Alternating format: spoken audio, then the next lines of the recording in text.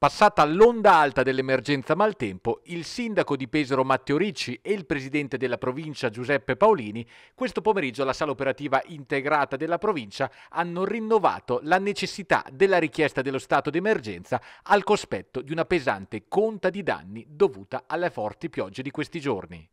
Non ci sono danni a persone, questo è un sospiro di sollievo che tiriamo, le previsioni stanno migliorando, però abbiamo una marea di danni, danni pubblici, a strade, frane, smottamenti, eh, a edifici pubblici, a impianti sportivi e poi tanti danni anche ai privati perché dove è entrata l'acqua ha fatto danni, eh, eh, garage, eh, cantine, appartamenti al piano terra, negozi, fabbriche e quindi davvero la conta dei danni è tanta, per questo abbiamo chiesto lo stato d'emergenza e oggi mi sono sentito sia col Presidente Acquaroli che con il Presidente Bonaccini perché tutta la provincia di Pesaro Urbino ha bisogno di aiuto perché questa volta da soli non ce la facciamo. La pioggia che è caduta è stata tanta, è caduta su tutta la provincia, ha eh, creato dei danni enormi su tutta quella che è la viabilità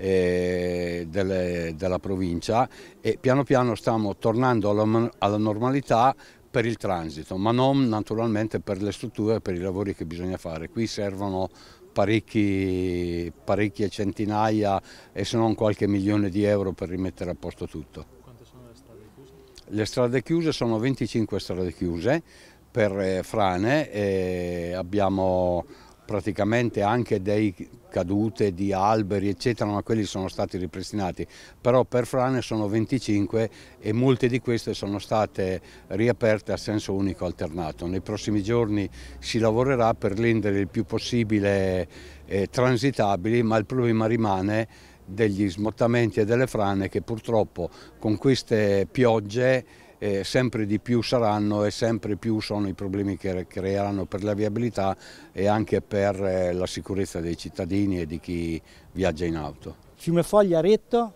eh, ieri è stato fatto un intervento da parte del Comune molto importante su un argine dove stiamo facendo eh, i, i, lavori di ciclopedonali, eh, di un ponte ciclopedonale, quindi è stato rinforzato un argine al volo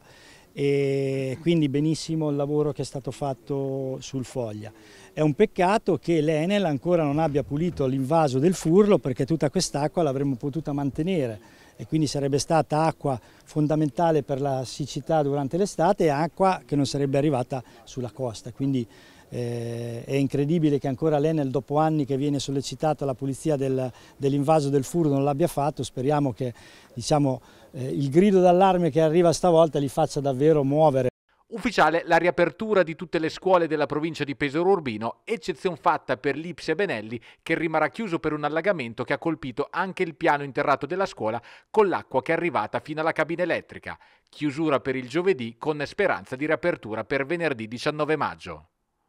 Domani riaprono le scuole perché le, il tempo è migliorato, le previsioni sono migliorate, eh, la protezione civile ha passato l'area di Pesaro Urbino da zona arancione a zona gialla e quindi domani le scuole sono di nuovo aperte. Eh, abbiamo fatto bene a chiuderle in questi due giorni, soprattutto ieri, perché immaginate se, se ci fossero state le scuole aperte che, che situazione, che caos avremmo avuto in città.